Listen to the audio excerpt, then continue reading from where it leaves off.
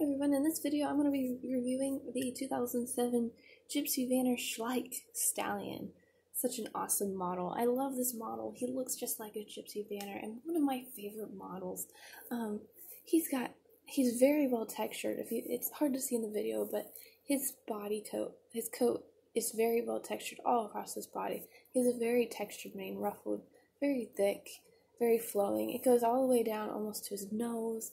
Um, goes on both sides of his neck and it parts down the middle. I love how it always parts down the middle.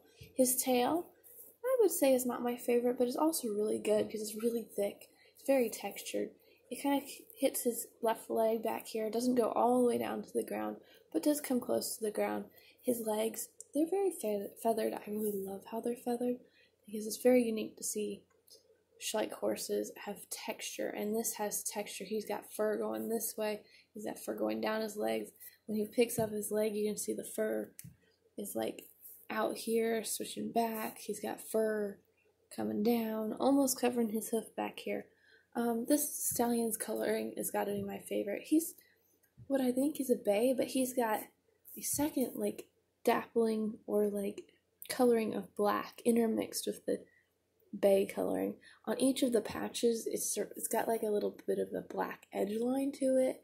His tail is a dark chocolate, and his mane is bicolored, being dark in the front and kind of white tan in the back.